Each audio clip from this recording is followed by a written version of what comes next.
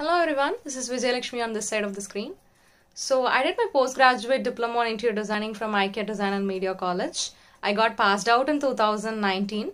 After that, I got placed in a firm called Sangson, which is via ICAT. They deal with a lot of residential as well as commercial interior designing projects. After that, I moved to Asian Paints. I worked as a designer as well there. After that, I started my own firm. So I am a proud entrepreneur now. The exposure that I actually needed to become an entrepreneur, I would I got it through various steps. But the base point of it is from our college, ICAT.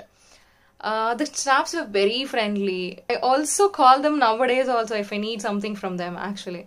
Not only through design wise and everything, they taught me how to carry myself well as well.